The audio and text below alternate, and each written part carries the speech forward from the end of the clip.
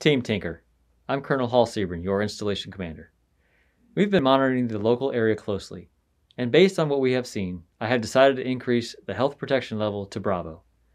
The transmission rate we currently see is almost four times what it was last year.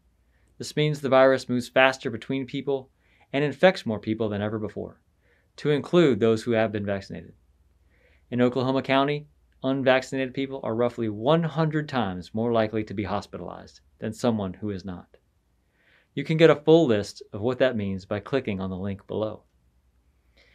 Know that we will wear masks and be deliberate about defeating this virus here at Tinker. I don't know anyone who wants to be back in the masks, but we have clear direction to wear them and a mission that cannot slow down as we generate air power here for America. You and our mission are far too important not to take action. Please take the time to find out more about the virus and the Delta variant from the CDC. If you haven't been vaccinated, I encourage you to do so as soon as you are able. If you're still unsure about the vaccine, I encourage you to speak with your physician or public health official.